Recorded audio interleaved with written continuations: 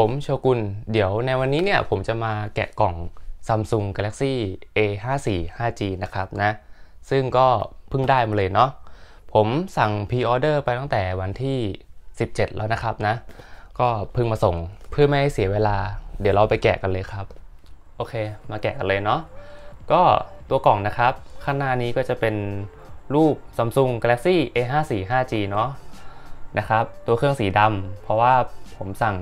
เป็นสีดำมาเนาะตรงนี้ก็มีอืมก็ประมาณนี้แหละครับนะ มาแกะกันเลยอืม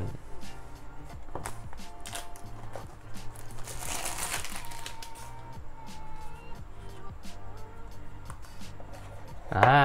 มาแล้วฮะ นี่ครับ ตัวเครื่องซัมซุงนะครับอืม Samsung Care นี่ครับสีดำนะ สีที่ผมสั่งมาเป็นสีดำนะครับ ตรงนี้ก็จะมีสเปคบอกเนาะโอเคสำหรับคนที่ซื้อไปแล้วเนี่ยแล้วเปิดกล่องมาเห็นมีแค่เครื่องแค่อย่างเดียวเนี่ยจริง ๆ แล้วเนี่ยมันยังมีสายชาร์จอยู่อีกนะครับ เราเนี่ยต้องพลิกฝาหลังกล่องมาเนาะนี่ครับ แล้วก็ดึงมันออกมาอ๋อแล้วก็มีเข็มจิ้มซิม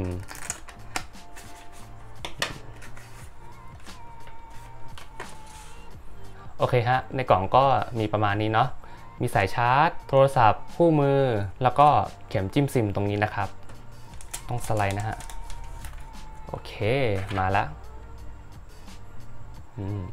เปิดเครื่อง โอเค ด้านล่างเนี่ยก็จะเป็นพอร์ตชาร์จ USB Type C นะครับนะ แล้วก็มีลำโพงอยู่ตรงนี้ แล้วก็ไมโครโฟนเนาะ ส่วน ด้านข้างซ้ายก็จะไม่มีอะไรนะครับโล่งๆเลย ด้านบนเป็นถาดใส่ซิมเนาะแล้วก็ไมโครโฟน ส่วนด้านขวานะครับ ก็จะมีปุ่มเปิดปิดเครื่อง แล้วก็ปุ่มเพิ่มเสียงลดเสียงเนาะด้านหลังก็จะประมาณนี้นะครับนะ ซึ่งด้านหลังเนี่ยทำมาจากกระจกนะครับนะ ไม่ได้เป็นพลาสติกเหมือนรุ่นก่อนๆเนาะ ส่วนขอบเครื่องก็ยังคงเป็นพลาสติกเหมือนเดิมเนาะ Samsung Galaxy A54 ที่ผมได้สั่งจองมาเนี่ย ผมสั่งไปตั้งแต่วันที่ 17 มีนาแล้วเนาะแล้ววันนี้เนี่ยวันที่ 22 นะครับ ก็ใช้เวลาส่งประมาณสัก 6 วันนะครับ ถึงจะได้เนาะแล้วก็จะมีโปรโมชั่นนะครับที่ให้มากับตอนพรีออเดอร์เนาะอัพความจุมากขึ้น 2 เท่าเนาะจาก 128 กลายเป็น 256 g b นะครับนะโอเคฮะ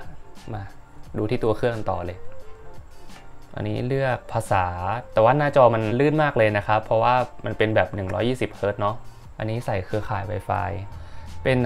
ระบบรักษาความปลอดภัยเนาะ เวลาเข้าเครื่อง ก็จะมีให้ตั้งค่าจำแนกใบหน้าเนาะ ก็คือการสแกนใบหน้านั่นแหละ แล้วก็ลายนิ้วมือ อ่าใช่ครับ แล้วก็เครื่องนี้เนี่ยรองรับการสแกนลายนิ้วมือใต้จอด้วยเนาะ แล้วก็มีพินรหัสผ่านรูปแบบ นี่ครับ ก็แตะลงไปเลย พยายามนะครับ เอียงนิ้วของเรา โอเคได้ละ ถัดไปแล้วก็มีให้เลือกโหมดสว่างกับโหมดมืดเนาะเอาเป็นสว่างก่อนแล้วกัน โอเค พร้อม เสร็จสิ้น อ่า มาแล้วฮะ Samsung Galaxy A54 5G เดี๋ยวผมขอไปดูที่ตั้งค่าก่อนเลยนะครับ แต่ว่าหน้าจอมันลื่นมากเลยเนาะ ตอนนี้ปรับเป็น120 Hz อยู่นะครับ ซึ่งไอ้120 Hz เนี่ย มันจะปรับสวิปลงมาเองได้นะครับ เมื่อหน้าจอของเราเนี่ย อยู่นิ่งๆ เนาะ แล้วก็จะมีโหมดให้เลือกแบบมาตรฐาน 60 Hz ก็เลือกเป็น 120 นั่นแหละเนาะ นี่ครับ ให้ดูใกล้ ๆ กันอีกทีเนาะ นี่คือ Samsung Galaxy A54 นะครับ ที่ผมได้ซื้อมาเนาะคือเอาจริงนะตอนแรกผมคิดว่าตัวเครื่องอะมันจะเล็กกว่านี้เนาะแต่ว่าพอได้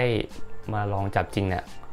ก็พอดีมือนะครับนะก็คือใหญ่พอดีเลย หน้าจอก็ใหญ่ด้วย แล้วก็พอดีมือด้วย ส่วนสเปคต่างๆ อะไรเนี่ย ผมจะแปะเอาไว้ใต้คลิปนะครับนะสามารถไปอ่านดูได้เนาะเดี๋ยวเรามาดูกล้องกันต่อเลยเนาะโอเค ก็มีโหมดถ่ายภาพนะครับ โหมดปกติ อันนี้น่าจะเป็นซูมนะครับ ซูมสูงสุดได้ 10 เท่าเนาะนี่นะครับ กดซูม อันนี้ ส่วนจุด 5 นี้น่าจะเป็นเลนส์อัลตร้าไว อืมใช่ครับนี่ไงเห็นไหมโอเคฮะอืมอันนี้กล้องหน้าเนาะเห็นหน้าผมไหมนะครับอันนี้ก็ขยายได้ ถ้ามีกลุ่มเพื่อนของเรานะครับ เข้ามาร่วมถ่ายด้วยเนาะแล้วก็โหมดวิดีโอนะครับ ซึ่งเท่าที่ผมรู้มาเนี่ยวิดีโอสามารถถ่ายได้สูงสุด 4K 30 frame rate นะครับนะทั้งกล้องหน้าแล้วก็กล้องหลังเลยนะครับ อันนี้น่าจะเป็น Super Steady โอเคใช่ละ แล้วก็มีอื่นๆ โหมดให้ถ่ายมากมาย ก็จะเป็นโหมด pro pro video single take กลางคืนนะครับ โหมดถ่ายกลางคืน โหมดอาหาร panorama macro super slow-mo slow motion hyperlapse นะครับ ตามนี้เลยเนาะโหมดการถ่ายภาพก็ถือว่ามีให้มาครบนะครับนะ โอเคฮะ เดี๋ยวเราไปลองกล้องกันสักหน่อยดีกว่าเนาะ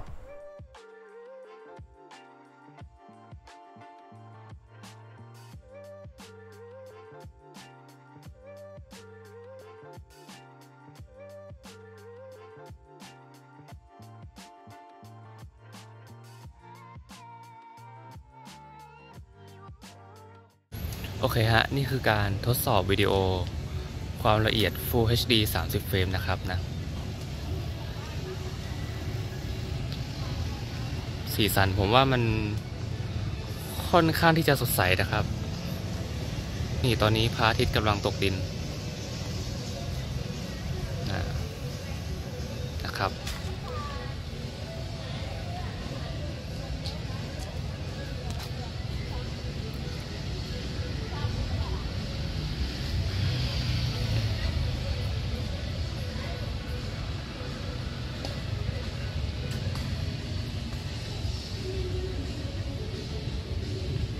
สวยเหมือนกันนะเนี่ยคือแบบถ้าเราถ่ายออกมาแล้วอะ ไม่จำเป็นต้องไปแต่งต่อเลยนะ ถ่ายเสร็จคือโพสลงโซเชียลได้เลยอะ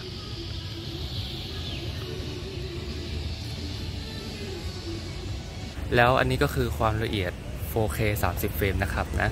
ซึ่งเป็นความละเอียดที่สามารถถ่ายได้สูงสุดแล้วล่ะสำหรับสมาร์ทโฟนเครื่องนี้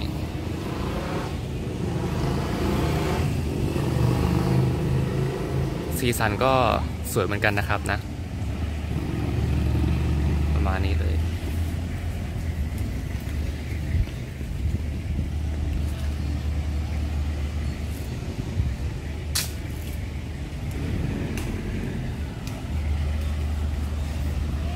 นี่ครับภาพย้อนแสง ประมาณนี้ฮะ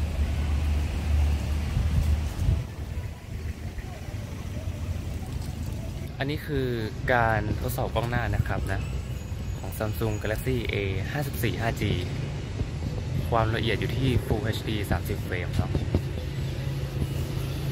เป็นไงบ้าง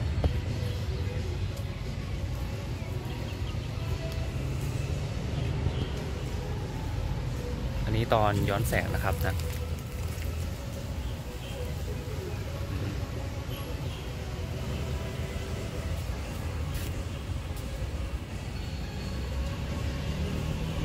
สว่างดีเนาะผมว่า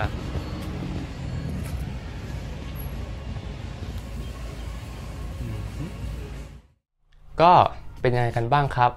ได้ดูคลิปแกะกล่องแล้วก็ลองกล้องไปสักหน่อยแล้วเนาะสำหรับผมแล้วเนี่ย Samsung Galaxy A54 เนี่ยถือว่า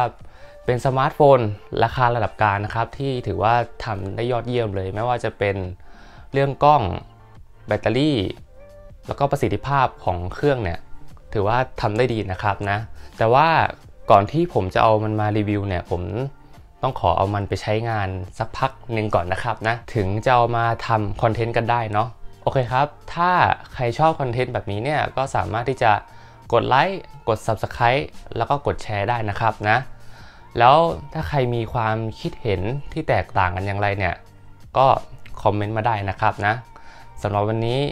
คงมีเพียงเท่านี้ สวัสดีครับ Thank you